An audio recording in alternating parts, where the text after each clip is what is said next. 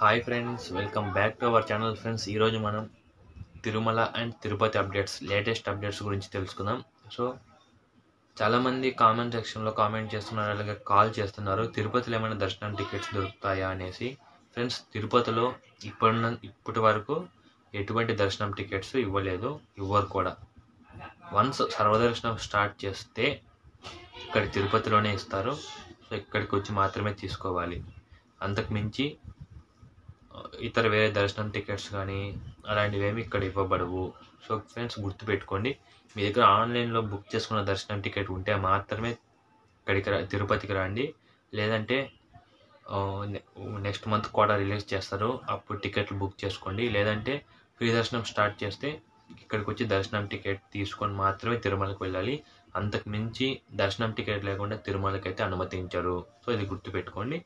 తర్వాత second option వచ్చేసి అలిపిరి మెట్ల మార్గం ఎప్పటి నుంచి ఓపెన్ చేస్తారు అనేసి. ఫ్రెండ్స్ ప్రజెంట్ అలిపిరి మెట్ల మార్గంని చాలా ఫాస్ట్గా అయితే వర్క్స్ జరుగుతున్నాయి. సో నాకు తెలిసినంత వరకు అక్టోబర్లో జరిగే బ్రహ్మోత్సవాల నాటికి అలిపిరి మెట్ల మార్గం పూర్తిగా రీకన్స్ట్రక్షన్ చేసి భక్తులకైతే అందుబాటులోకి తీసుకొస్తారు. ఫ్రెండ్స్ తర్వాత తిరుపతి అకామిడేషన్ గురించి తెలుసుకుంటే ప్రజెంట్ తిరుపతిలో ఓన్లీ అవైలబిలిటీలో ఉన్న టీటీడీ అకామిడేషన్ వచ్చేసి ఓన్లీ శ్రీనివాసం అండ్ మాధవం. ఈ రెండిట్లో మాత్రమే ప్రజెంట్ టీటీడీ అకామిడేషన్ ఇస్తుంది. తర్వాత విష్ణు నివాసం అండ్ గోవిందరాజస్వామి సత్రాలు అయితే ప్రజెంట్ ఓపెన్లో లేవు. ఇవి ప్రస్తుతం కోవిడ్ కేర్ సెంటర్లు మాత్రమే ఉన్నాయి. సో మీకు శ్రీనివాసంలో అకామిడేషన్ కావాలంటే ఆన్లైన్లో కోట ఉంది ఆన్లైన్లో కూడా తీసుకోవచ్చు ఫ్రెండ్స్ ఫ్రెండ్స్ ఇక నెక్స్ట్ అప్డేట్ వచ్చేసి చిన్నపిల్లలకు ఫ్రీ దర్శనం ఉంటుందా? లేకపోతే వారికి కూడా టికెట్ తీసుకోవాలనేసి మీకైతే డౌట్ రావచ్చు. ఫ్రెండ్స్ మీరు టికెట్ బుక్ చేసుకున్నప్పుడు ఇన్స్ట్రక్షన్స్లో first point below twelve years ఉన్న వాళ్ళకి దర్శనం టికెట్ అవసరం లేదనేసి ఉంటుంది.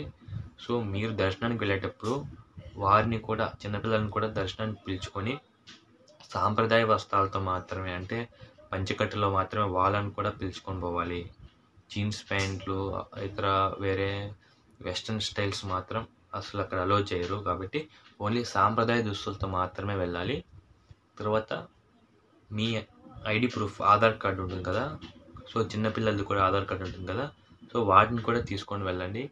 అక్కడ వైకుంఠం క్యూ కాంప్లెక్స్లో చిన్నపిల్ల ఆధార్ కూడా వారికి చూపించాలి. అప్పుడే వాళ్ళని ఆధార్ కార్డులో ఉన్న డేట్ ఆఫ్ బర్త్ ప్రకారం బిలో ట్వెల్వ్ ఇయర్స్ ఉన్న వాళ్ళని మాత్రమే దర్శనానికి అనుమతిస్తారు.